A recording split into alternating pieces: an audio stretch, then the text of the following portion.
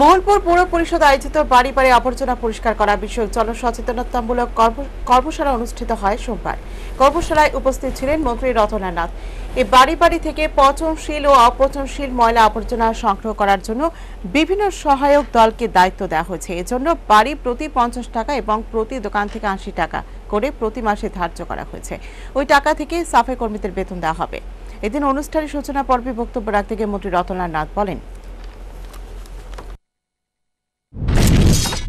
এখানে সচেতনামূলক একটা আলোচনা সভা ব্যবস্থা করেছেন। এরপরে যারা যারা থেকে আবর্জনা সংগ্রহ করবে, তাদের এখানে ওপেনিং করা হবে।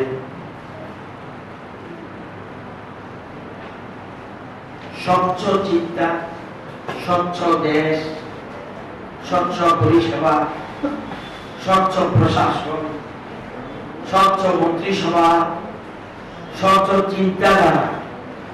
স্বচ্ছ মন আর জনতা আজকে সারা দেশে একটা জাতীয় আন্দোলন হিসেবে, স্বচ্ছ বাংলা জাতীয় আন্দোলন হিসেবে আজকে এটা আজ সূচিত হয়েছে